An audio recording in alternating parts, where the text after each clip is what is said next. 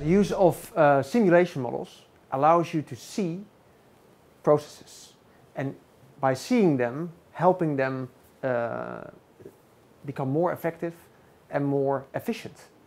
Uh, so effectiveness and, and, efficiency is of course very important, especially in a time when more and more technology uh, comes available and the selection of technology becomes more complicated.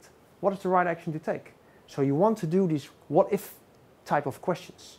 What if I would implement this? What would be the effect on my operation, on my performance towards my customers?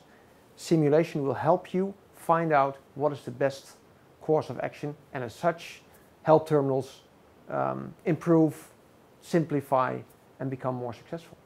With improving computer technology also the reach of simulation has, has tremendously grown.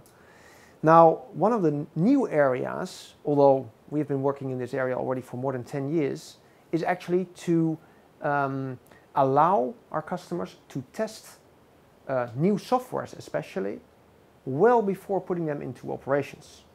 Uh, so in container terminals, we're talking about mission critical software, which means if the software stops, the terminal doesn't run. Uh, think of a terminal operating system, think of an equipment control system.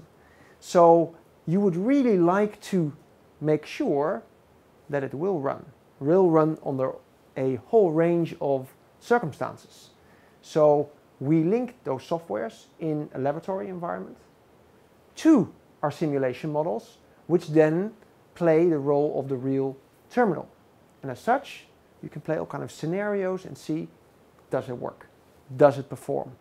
Does it work under stress, etc. And as such, um, minimize the risk for uh, implementing something new.